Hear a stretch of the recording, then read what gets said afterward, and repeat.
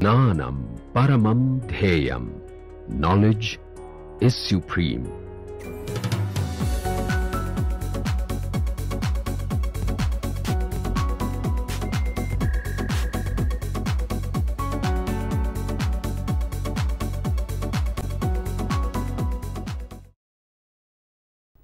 Okay, so we will continue studying regular local rings and I will uh, provide the gaps last time we have had. Uh, so, for example, and also some examples. So, uh, to get uh, more intuitive ideas from from geometry especially. So, what we want, uh, so we have started with, so let us recall a definition of regular local ring. So, A M Noetherian local ring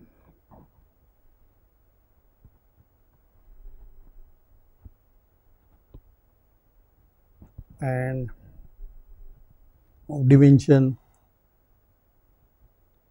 equal to d.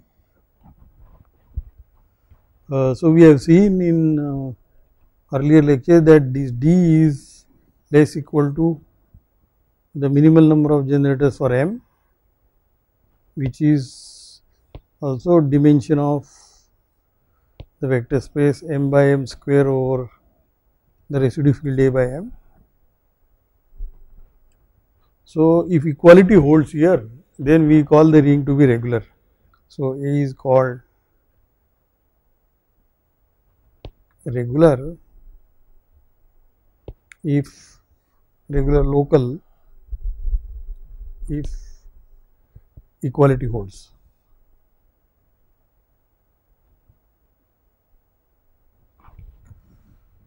Okay, so um, so the local rings are usually studied with the help of the associated graded ring. You have seen this also in the uh, proof of uh, dimension theorem etc. Also when we talked about uh, Hilbert Samuel polynomial etc. and so on. So, for A we have this object GRMA which is the associated graded ring of this is the direct sum of this successive powers quotients. This is called the associated graded ring of of A. And last time we have seen that a regularity of the local ring is equivalent to the associated graded ring in the polynomial algebra. This is what we have seen and obviously in the number of variables as d. Okay, and in that proof I have used that the local ring A and this associated graded ring have the same dimension. This I have not proved, we will prove it today. Uh, most of the things we have proved, we have to tie up the things in a neater way. So, that is what we have used, but before I do that, also I have made a statement that if, if A is regular, then it is normal. And how did we prove? If A is regular, then this graded ring is a polynomial ring and polynomial ring is integrally closed, normal. And from there I said original ring is normal. So, we have we have used these two theorems, two things namely if A is regular, regular local, then the associate that is equivalent to saying the associated graded ring is a polynomial algebra over the residue field. This we have used, this we have proved by using dimension of A equal to dimension of associated graded. So, this we have to prove today, this, this theorem 1. And another thing I have used is if uh, A regular local then A is normal. And for this I said use this one because if this is normal graded ring is normal then the original ring is normal. This is what we have to prove. Okay but before I do that I want to make some comments about the definition of regular thing. Um, first of all, see you should view this associated graded ring. So, from A we have gone to associated graded ring. Um, one advantage is this is a finite type algebra over a field and for finite type algebra over a field we have very strong statement normalization lemma and so on. That was not uh, the, in the case of local ring. Another thing is if you look at the spec, the prime ideals with the Zariski topology and uh, this one. So, this one is now better one because this is a cone. See this graded ring is isomorphic to um, polynomial ring in general, I am talking in general, uh, uh, k x1, x2, xn modulo of ideal j and this has a property that this is a made up of the lines passing through the origin. So, therefore, we have approximated this spectrum by a nice object which has this homogeneous property that namely the cone that is called cone affine cone. So, that is spec of this. Uh, in an example it will become more and more clear about the geometry. Okay. That is one comment uh, and another thing is um, we wanted to define uh, in general uh, when the ring is not regular, uh, ring is not local then we want to define it is called a regular if all localizations are regular. But to do this we have to prove first that if you have a regular local ring, uh, if you have a local ring and if all localizations are local, uh, all localizations are regular then the original ring also should be regular. And this is not so easy to prove, we, for this we need a help from homological algebra. So, after this I will develop homological algebra. So, uh, uh, this statement that A is local, then A is regular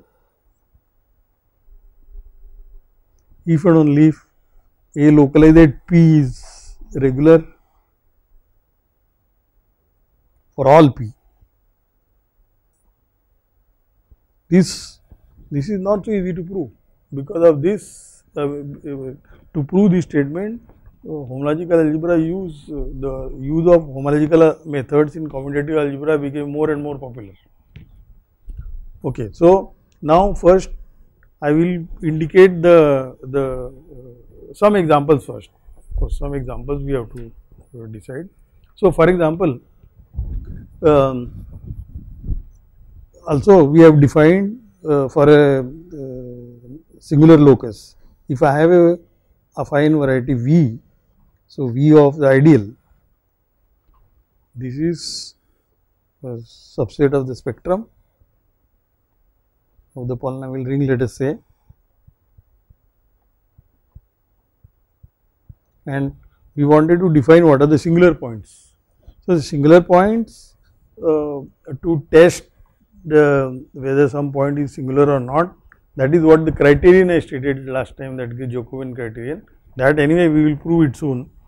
Uh, but uh, more important is uh, for arbitrary ring, ring for the spec of A, we want to define what are the singular points. So, sing of spec of A. These are all those prime ideals where the ring is not regular.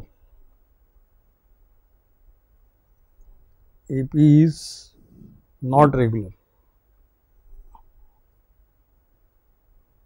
So, those are called singular points and the complement is called non-singular points. So, we want to check that this, this singular points is a closed subset and not only closed subset it is thin that means it has not too many elements. So, the following two examples will uh, give more uh, light on that. For example, if you try to draw a graph of some curves let us say cubic curves. So, these are the examples that gives us some idea. So, these are these cubic curves in the plane of course, in the plane.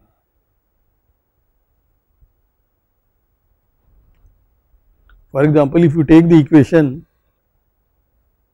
uh, y cube minus x square. So, the picture will look like this.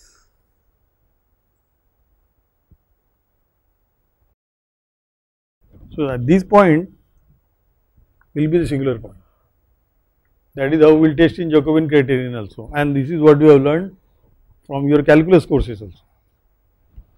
Uh, this is called a cusp, this point is cusp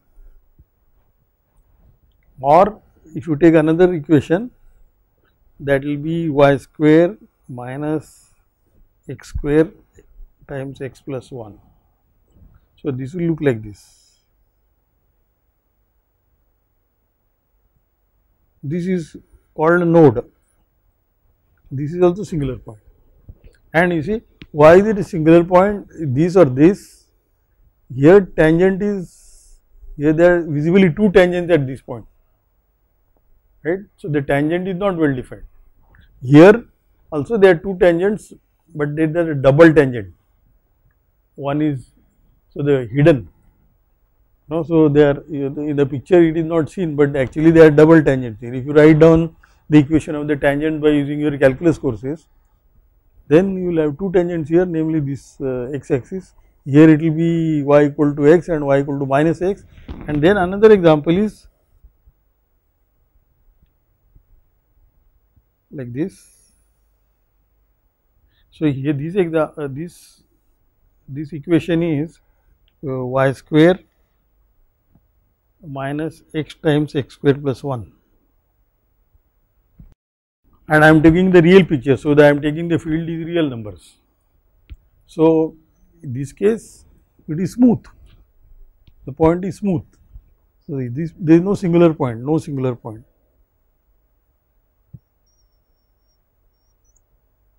So, this is what we learned from calculus, but as you see when you go in higher and higher dimension and more and more equations, then it becomes more and more difficult to check by using calculus methods. So, we have to have more powerful algebra and that is provided by commutative algebra. Okay, now uh, before also I go on. So, the same examples also now let us do it little bit more abstractly. So, I will prove now that so, we have a Noetherian ring A not may not be local and we have the spectrum here and we have learned that the topological space has finitely many irreducible components and the irreducible components are provided by the minimal prime ideals. So, irreducible components they correspond to minimal primes.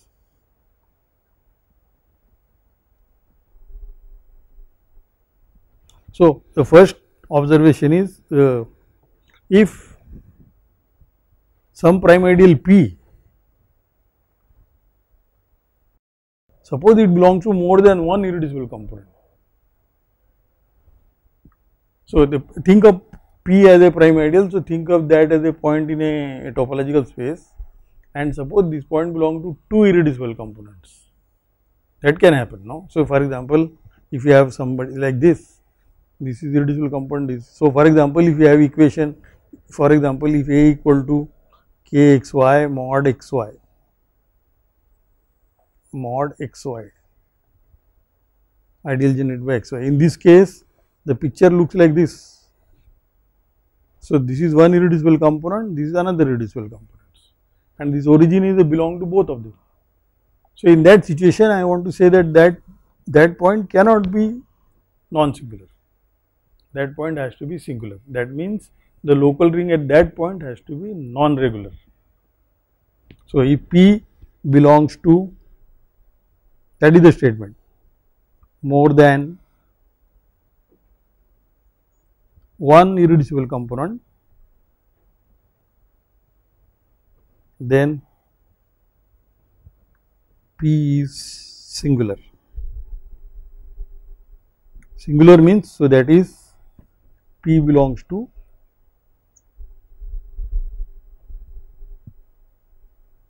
that is P A localized at P is not regular.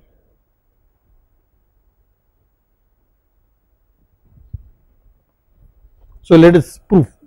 So, P belongs to more than one irreducible component means P will contain. So, everything the whole idea is all the geometric statement we will convert to algebra and prove there and go back.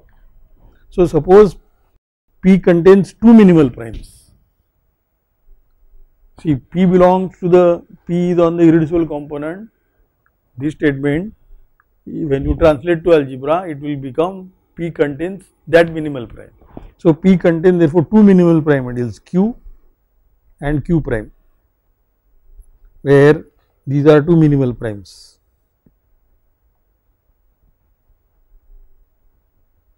And what do you want to show? You want to show this ring A localized at P is not regular, right. So, that means you have to go to localization at P. And because these minimal primes are contained in P, they will survive here. And they will continue to be minimal primes, right. But then we have just now seen this ring cannot be regular. That is what we want to conclude. If it is regular it will be domain and domain means exactly one minimal prime ideal namely the 0 1 but we have two minimal primes surviving there. So therefore a localized at p cannot be regular. So minimal primes contained in p therefore q a localized at p and q prime a localized at p both are minimal primes. In this local ring, but that cannot happen because uh, this is a domain. If, if regular, if it is regular, if AP is regular,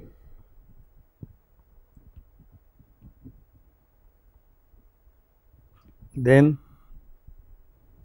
AP is a domain and therefore, they, there cannot be two minimal primes. So, contradiction therefore, we have proved that AP is regular and that means P is singular. So, therefore, when when one wants to draw picture of a spectrum of a ring where P is a point there then if at P it is non singular that means that P should belong to only one irreducible component. Okay? And in this example so in this example for example uh, it is not seen. There are two components.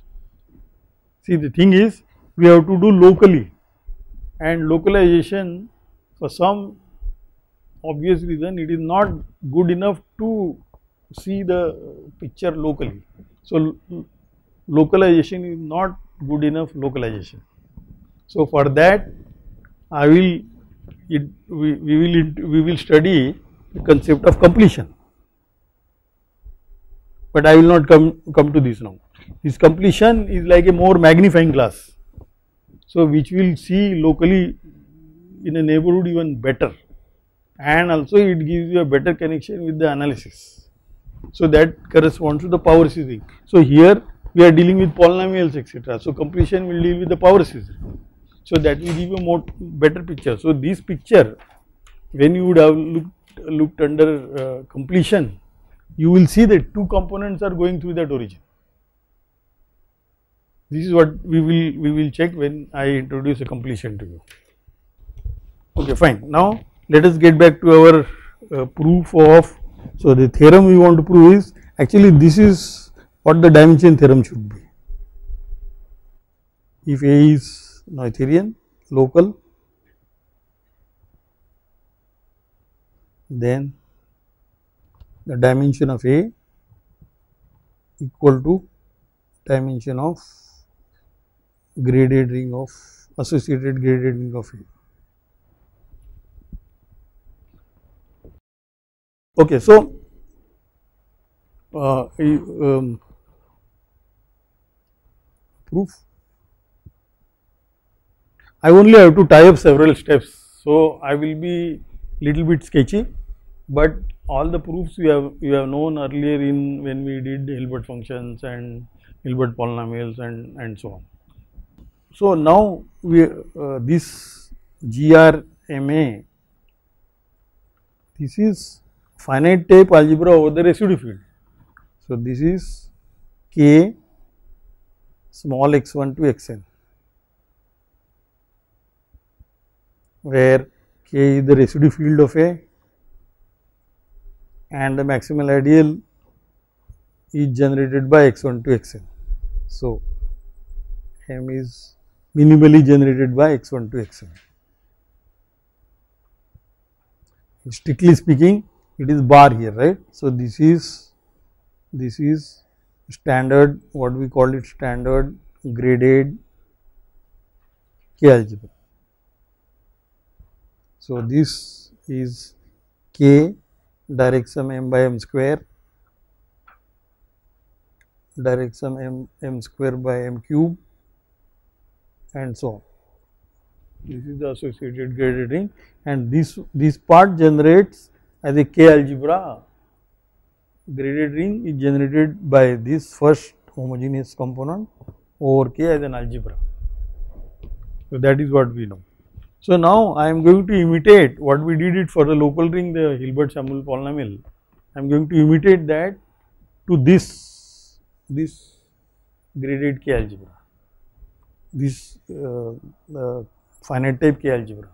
But the definitions are uh, defined definitions are defined by using this x1 to xn and we have to check that it does not depend on the generating set that is the major step, but that is also okay. So, uh, let us define what we are defined. So, more generally, so what we are, what I am going to do is I have a polynomial algebra kx1 to xn and I have an ideal in that a is an ideal in that and uh, I have the residue class algebra kx1 to xn mod A. This is k small x1 to xn and let me call this as A capital A. This is nothing to do with the original local ring. So, this is A and I am going to define, I have defined actually earlier lecture. So, I just want to recall for any m in n, we have defined this A less equal to m that is by definition look at all those polynomials in the small x such that f degree of f is smaller equal to n. Any element in A is coming from a polynomial and uh, you put uh, instead of capital X small x. So, this is not unique the expressions are not unique, but who cares that you just take them and look at all those degree m polynomials and take their images in this ring and collect all of them and call that as AM. And it is obvious now this is a k vector space and finite dimensional.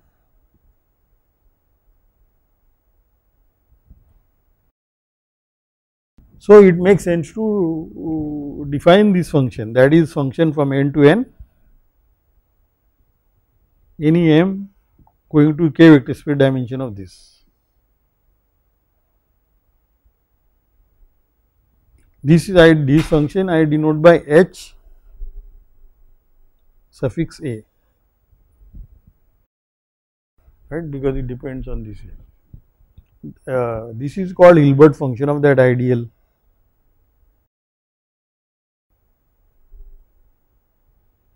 Of the ideal A. And similarly the Hilbert series that is capital H A T this is by definition the series the coefficients are these values at m. This is Hilbert series.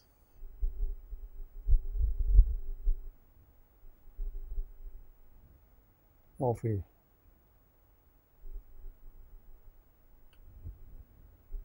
okay now let me uh, give one example. So, that you get that this this uh, Hilbert function and Hilbert series they do not they depend on the generating set This is what I want to show you by examples first. So, suppose you have two variables k x1 x2 and you take the ideal principal ideal generated by x1 minus x2 square. This is my ideal. Okay, then let us write down the Hilbert function of the ideal A at the value at m. So, I say that this is 2 m plus 1 because what do we want to compute? We want to this should be the dimension of the vector space A less equal to m over k. This is what I want to check. So, what is this vector space? This is you just go mod that and take all polynomials of degree smaller equal to uh, m and then compute the dimension. But I will list all those polynomials. See for example, 1, x1, etc., etc., x1 power uh, m, m, then x2, x1, x2, x1 power m minus 1 x2 these are this is in fact the basis of this. Because what do you need? You need polynomial smaller equal to m right? So and whenever there is x2 square i will replace it by x1 so i don't need x2 square. So that's why. And up to x so this is a basis for this and how many of them are there? They are these are uh, these are m these are m and these are m 2m and this is 1 so this is 2m plus 1 right. So, this is the Hilbert function. And therefore, what is the Hilbert series? This is then uh, 1 plus t divided by 1 minus t whole square. That is easy computation. I will leave it for you to check you just need only this in the calculation. Okay, so on the other hand now suppose I this is I have taken this. Now suppose I take yes. See here from x1 to x1 power m they are m in number. From x2 to x1 power m minus 1 okay but you see now this we were talking what was a? A was k x1 x2 mod ideal generated by x1 minus x2 square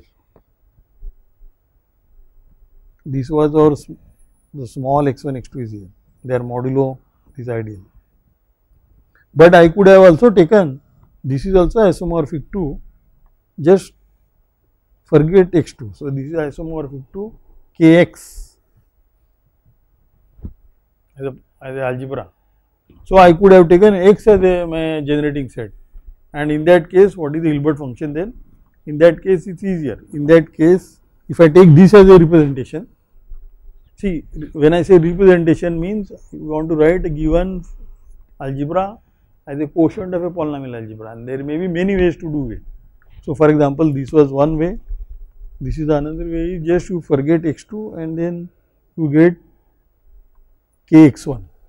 No, forget x1, you get this is isomorphic to polynomial ring in kx, right. So, now if I use x as the generating set for the k algebra, then the Hilbert function will be not I do not write a, a, a, a, suffix here now. So, in that case H m will be equal to m plus 1 and the Hilbert series will be whatever. So, therefore, Hilbert function do depend on a generating set of a finite type K algebra. Now, therefore, the only hope is we prove that this degree of that we prove that it is a polynomial function and the degree of that polynomial function does not depend on a generating set. This is what one uh, we will prove. Okay, so okay to so we are see in other words see this this L s equal to m this gives a filtration of the algebra A and we have used that to define the Hilbert function. Okay, now uh, for a, for principal ideal you can compute the Hilbert function. So, I will not compute that, but let us I will just at least state suppose I have one polynomial in over a field in several variables and I want to take the principal ideal generated by f that is A is the principal ideal generated by f. And then we are taking the quotient algebra. A is k x1 to xn modulo ideal generated by f. And then what is small h suffix f and capital H suffix f the series. So, I will write the series now. So, because from each you can read the other one because these are the coefficients and these once you know the coefficients you know the series. So, for the 0 if f were 0 polynomial then it is easy it is 1 upon 1 minus t power n plus 1 and if f is non-zero it is 1 minus t power degree of f divided by 1 minus t power n plus 1 and this uh, this one proves by induction on n. By induction on n. For f equal to 0 it is really easy because in that case what is our a is a polynomial algebra. So if f equal to 0 let us see it is easy. In this case a less equal to m is nothing but k polynomial ring in n variables less equal to m. This is a vector space of polynomials in n variables of degree up to m, but this is same as direct sum k x 1 to x n minus 1 less equal to i and x n power j this direction is running over i plus j equal to n and i and j are natural numbers. We are interested in computing the dimension of this, but we can easily compute the dimension of this by induction and just tie it up. So, that I will not carry out that calculation. Similarly, same thing you can do it for non-zero f and for non-zero f um, the usual trick we have to do is we have done it earlier also that you have to consider uh, multiplication by f on the polynomial ring and then you get a, exact sequence and then you read.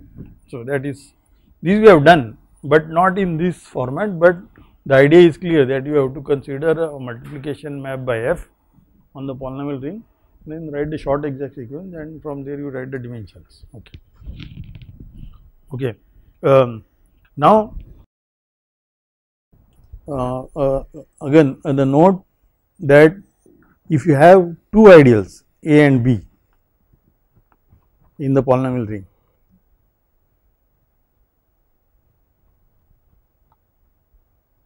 and and uh, let us say homogeneous ideals. Then I want to check that uh, the uh, Hilbert series for the sum ideal plus Hilbert series for the intersection is same as uh, Hilbert series for the ideal A plus Hilbert series for the ideal B. So, you should write T here actually.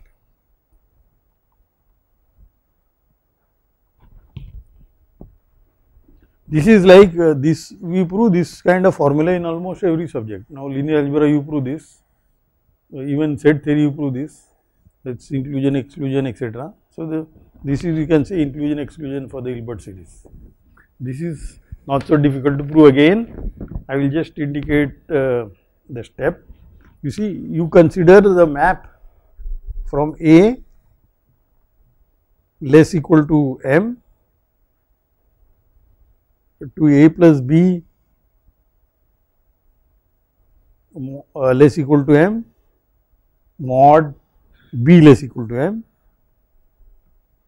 This is clear the notation. This means the polynomials here of degree up to m and so on, right. And there is a natural map here which is surjective.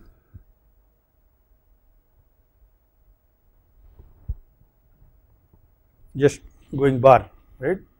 So, f going to f bar that is the map. What is the kernel? Kernel of this map is precisely A intersection B less equal to m. Once we have that, then you will get an exact sequence and then you go mod, go mod these guys. So, that means you work in this big vector space k x 1 to x n less equal to m, this vector space, these are all their subspaces, right. You work in this vector space and then when you go mod this, then you get a formula you know from the short exact sequence now plus minus plus minus that that formula precisely will give you this one.